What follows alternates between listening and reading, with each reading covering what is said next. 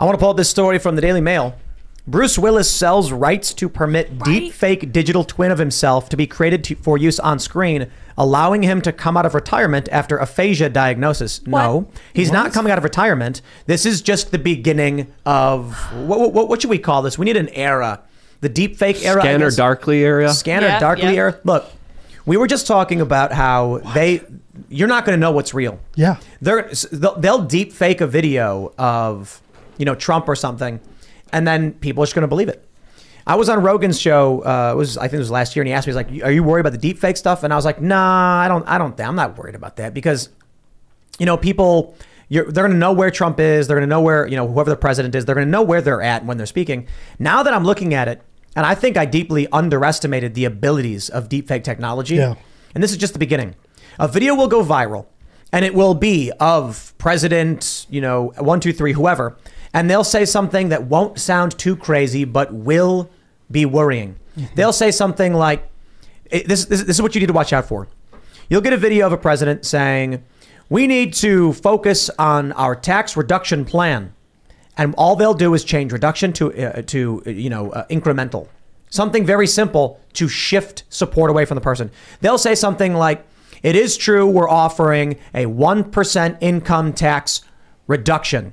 And then they take that video and deepfake increase and then they send that out. It goes viral. This is when when I hear them say stuff like, you know, we have to be concerned about mis and disinformation. Hey, they're not wrong.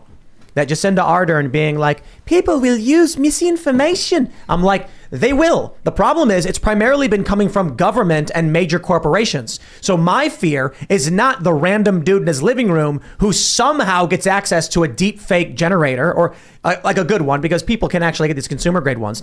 My concern is government or military grade technology that can generate deepfakes, and then one day you're an anti-war activist.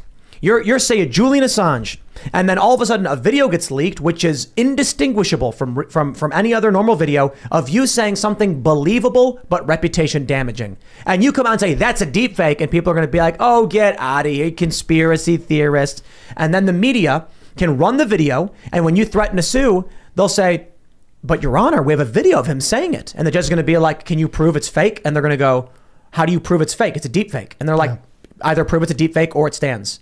That's the world we're entering. And and you know what? I got to tell you, we're there already. Yeah. We are there now.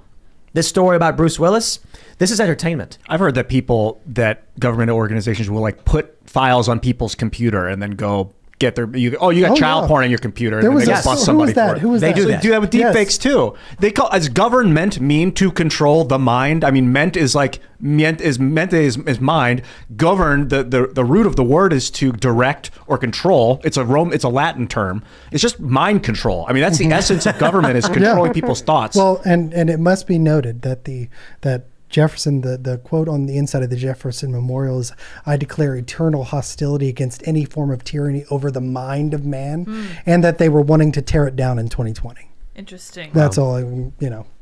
Wow, And man. we we also have to understand that this technology also is developing at such a very fast rate. This is what's public. What is not public? What don't we know about? And personally, from my own speculations and my own kind of thinking about this, if you could deep fake actors and, and certain videos, you could probably deep fake individuals. You could probably deep fake uh, influencers. You could probably deep fake entire social media accounts to pretend to be somebody pushing an agenda that, of course, is going to be making videos, is going to having, uh, you know, the, the selfies, is going to be, of course, broadcasting about everything, but everything's going to be user computer AI generated to push a certain idea to emotionally manipulate you in a certain way that benefits a multinational corporation or a private entity in interest that of course have an that that that want to manipulate you for their own personal causes. Who's going to be doing that? Very powerful people. The corp the, the billionaires the multinational corporations the government the secret societies the intelligence agencies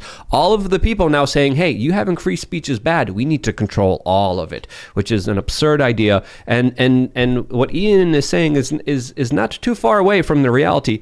It is trauma-based mind control that a lot of people are going through are unaware of it and this is one of the main ways that they they use to control people is with emotions. And now ai generated content creators i think that's something that we should be looking out for. Ian is 100% correct. Ment, the uh, that's the suffix, comes from the uh, Latin mente, meaning Mentis, mind, Yeah, mental. Mm-hmm. and then govern is to steer, drive, or control.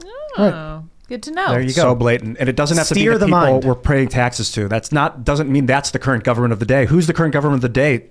Google, Alphabet. They're Yes. controlling what we see, Yeah. hear, and think. Mm-hmm. I mean, um, not directly, but indirectly. No, I think directly. I mean, You- they, you they're, can they're still throwing opt it right in at you.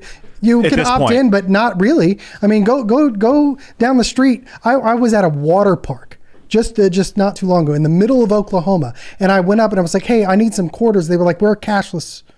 We, we, we don't accept cash."